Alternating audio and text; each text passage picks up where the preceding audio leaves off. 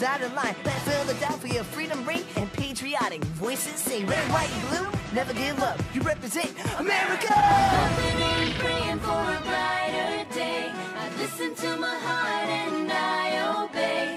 How can I see it any other way?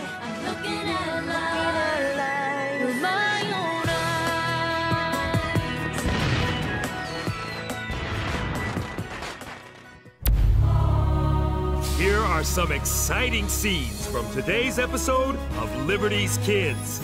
Don't leave me tied to a Hessian mercenary. I don't want to be tied to an American spy.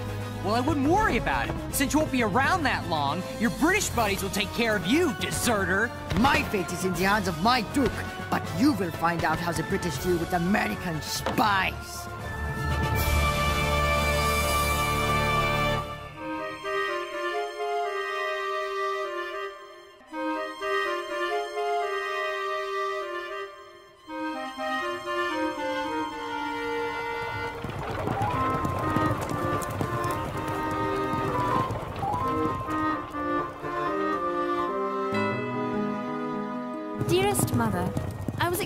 Read in your latest letter that some members of Parliament spoke out against the war in America.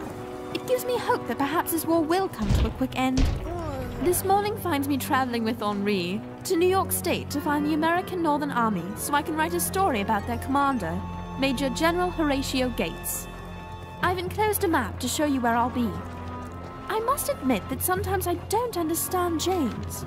With all the important news to cover, he wants to join General Philip Schuyler wandering around in the New York wilderness.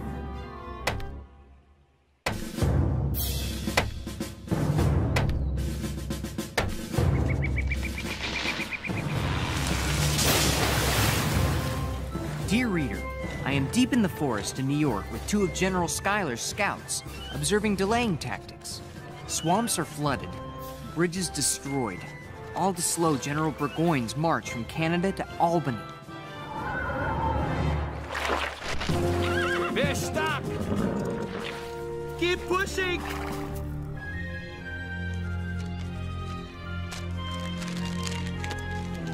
Um, Corporal Carby?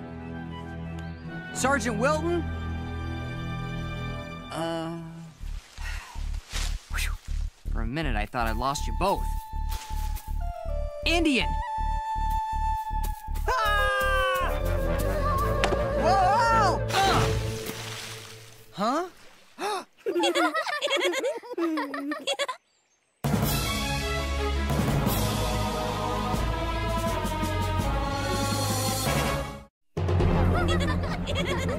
Girls, you got to run. There's an Indian after me.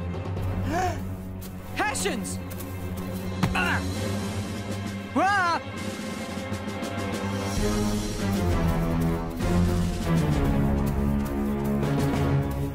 What is this? What is happening here? You left my children unprotected. Your duty is to keep them safe. Forgive us, Baroness von Riedesel. This boy surprised us. He appeared out of nowhere. Move. Ah. It's this detestable American wilderness. You can't see a thing except the bugs. It's plagued us ever since we left Fort Ticonderoga. That's it. I fell. I hit my head on a tree branch. Yeah, that's it. I'm dreaming all this. Indians chasing me, kids in the woods, Hessians, an angry German baroness. Move! Or not.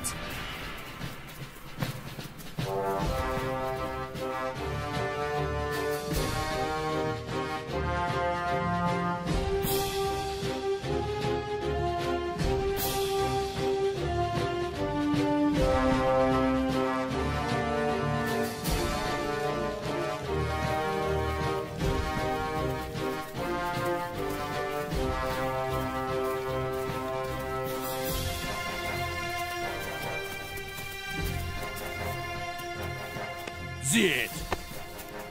Thank you, Bruce. So this is life in Lieutenant General Burgoyne's camp. Slowed down by a trail of camp followers, low on food, and not enough horses, his troops are miserable. while the general travels in style and dines in comfort thanks to more than 30 carts full of his personal belongings. Hey, don't take that. It's nothing to do with you. Indeed. And what would you call passing out an appeal to our Hessian comrades to desert? What?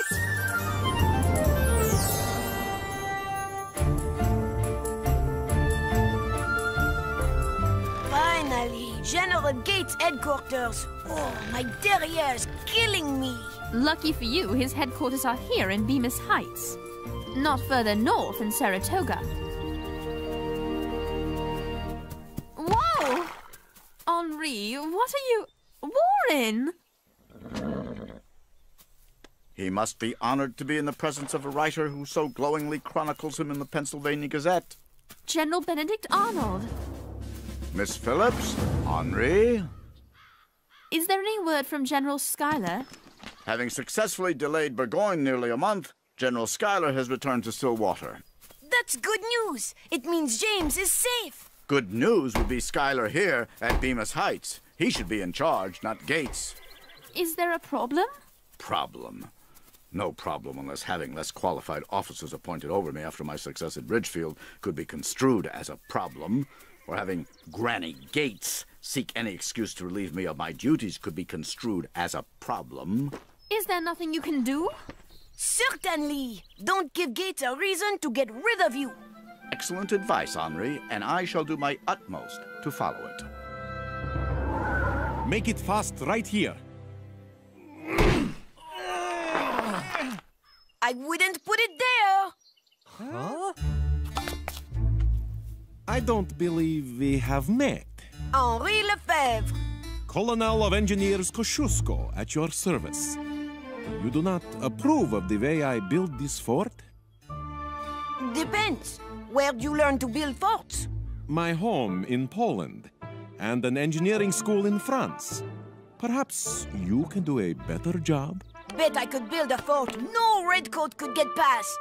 I would be interested in hearing them. Did you get your ideas in school? School? Ah, who needs to go to school to build forts? Look, I've been here for weeks. I'm just another mouth to feed. Why not just let me go? I told you, laddie. We'll deal with you when we arrive in Albany. That could take months at the rate you're traveling. Look, Hessians may be brutes that only fight for money, but I wasn't trying to get them to desert. I was using the leaflets to write on. Oh, yes, your writing. It speaks of burning crops and destroying bridges. Here it mentions moving off cattle. These are acts of rebellion against the crown. I just report on what happens. It's what I do. I think you do more than that. You also possess information about our camp. Yes, Sergeant? Very well. Assemble the ranks and form a foraging party. We move out immediately to search for food. Now, what shall I do with you? There. This will keep you two from going anywhere.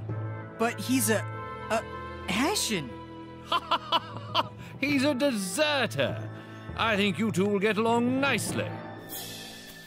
Don't leave me tied to a Hessian mercenary. Ugh. I don't want to be tied to an American spy. Yeah? Well, I wouldn't worry about it. Since you won't be around that long, your British buddies will take care of you, deserter. Ha! My fate is in the hands of my Duke, but you will find out how the British deal with American spies. I'm not a spy! I'm not a deserter. I was ordered by Corporal Schmidt to accompany him. We left the column to find something to eat. Anything. Berries, small animals. We were attacked by some of your American skirmishers. Schmidt! The corporal was wounded. But I am told he will heal. When he does, he will write the Duke on my behalf and tell him I am innocent. Unlike you. Why didn't you shoot back? What kind of soldier are you? I'm not a soldier. I'm a musician. What?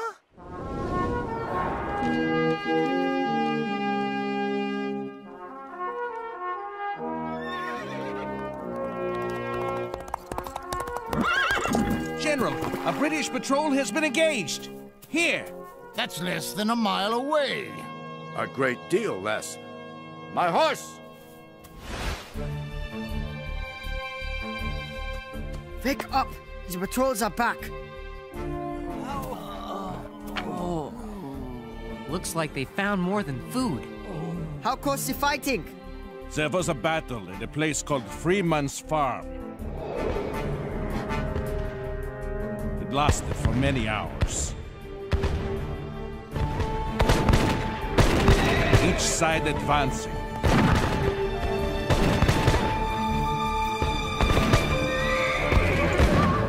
Then falling back. So, who won? We did. Only because Hessians arrived in time. In the battle, the Americans ran low on ammunition and were forced to withdraw. General Burgoyne's losses were heavy. More than two soldiers for every one American. Doesn't sound like you won to me. Silence, spy, and deserter. You will be proud to know that your Corporal Schmidt returned to duty and helped save the day for us. Unfortunately, I must report that he was killed. What will happen to me? My friend is gone. So is your alibi. General Arnold, the American troops owe you a debt this day. Your brave leadership carried the battle. Three cheers for Arnold! He saved the day!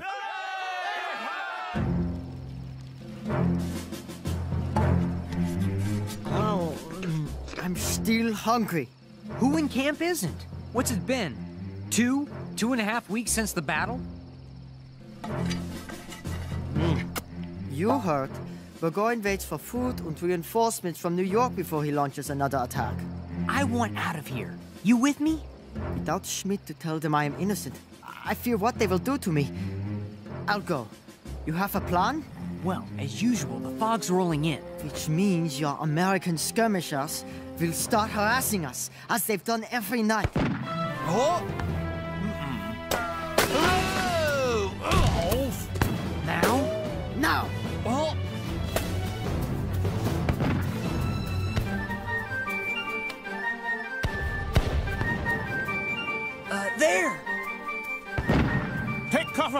Musket fire!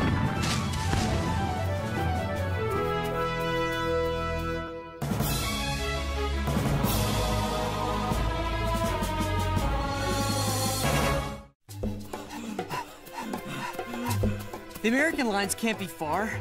We hear camp sounds every night.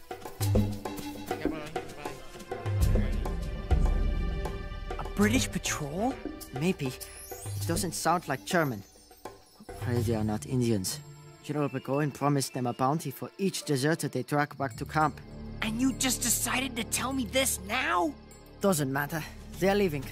Besides, Burgoyne's promise shouldn't surprise you, considering many of you rebels are cannibals. We're not cannibals. Where did you hear that? On the boat coming over.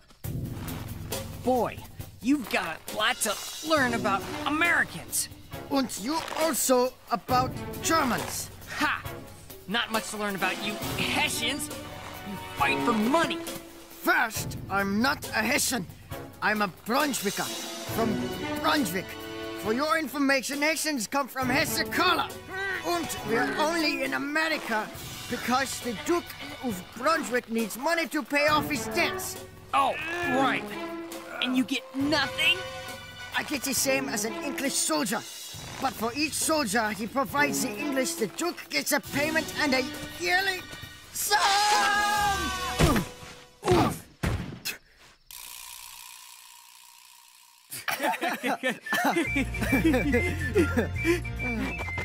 James. Gunter. James, look, there, a cabin. Maybe we can find something in it to cut this rope. What is wrong with General Arnold? Is he sick? No, he won't come out of his tent. General Arnold, didn't I beg you to stop writing those nasty letters to General Gates? He excluded me from staff meetings, he reassigned my men, and in his report to Congress, he somehow failed to mention that I was at the battle. He didn't!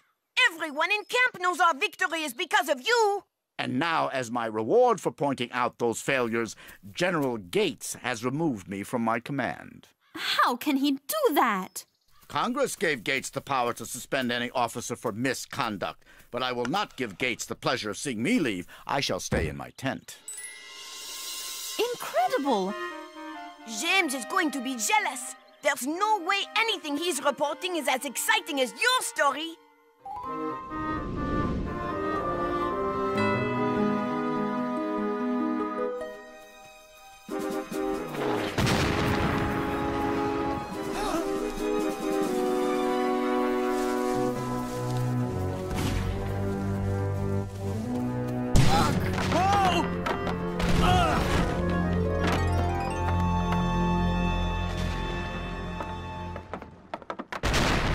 Uh-oh, cannon! And they're close. You know what that means. Cannonballs!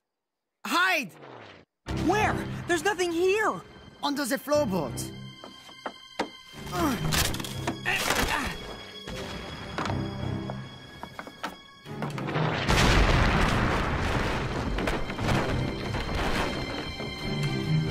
Oh, this was a good idea.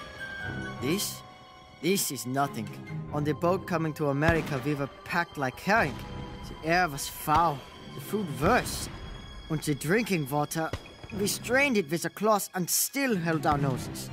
Hey, you volunteered. Volunteered? We did as we were told, or be shot. You're telling me you went through all that just so your Duke could pay off a debt? Well, yes. That's tyranny! That's what America is fighting against. Liberty from people like your Doc! Don't you mean Duke? No, Doc. Check this cabin. In here! I'll go in here. You go there. Ready? Fire!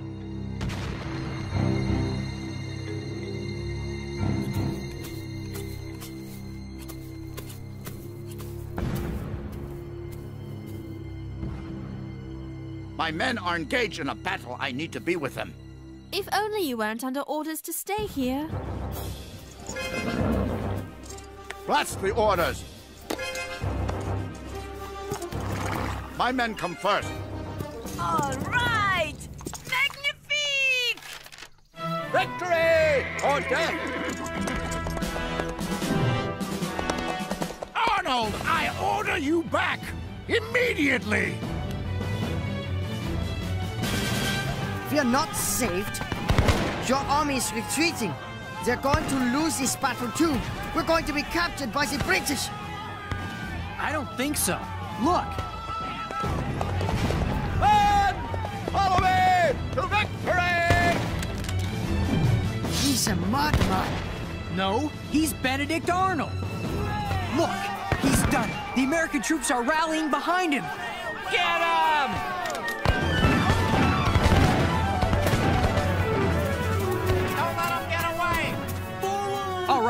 Let's get out of here.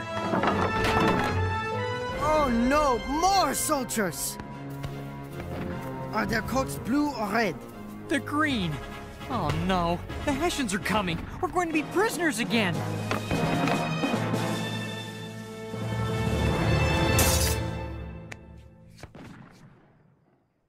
Don't worry. They want to come with us. They're deserting. All of them?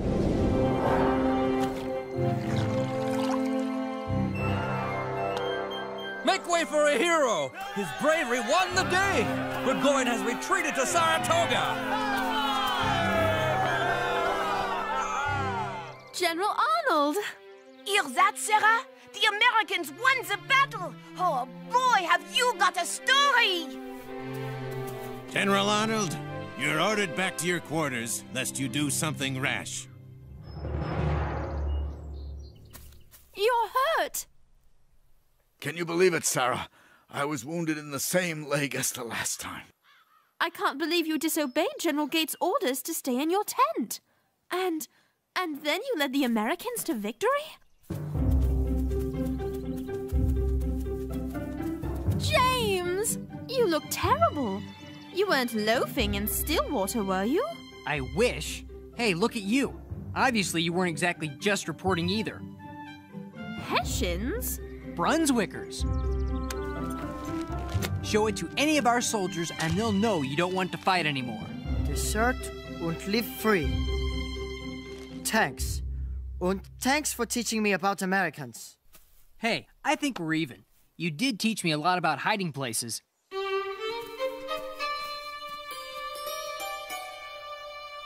It was a pleasure to meet you both. Give my regards to Ben Franklin. We will. Is a model of the perfect fort, guaranteed to win every battle. Fine craftsmanship. Here's the door.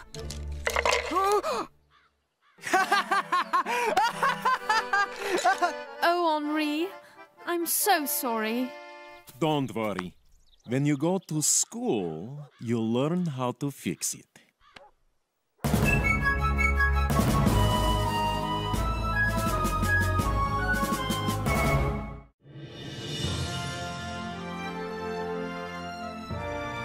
Dr. Franklin, what an exciting time I have had. In the wilderness, I was chased by Indians, taken prisoner by Hessians, escaped tied to a German prisoner, Gunter, with whom I not only became friends, but also witnessed General Arnold rallying the American troops, which eventually led to Gentleman Johnny Burgoyne's surrender at Saratoga. That was a sight to see. His whole army.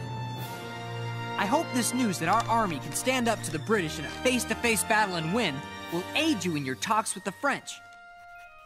Dear Mother, I am now not so sure that England will win this war. In fact, I truly believe the Americans may have found a hero to lead them to victory. A brilliant and courageous officer named Benedict Arnold.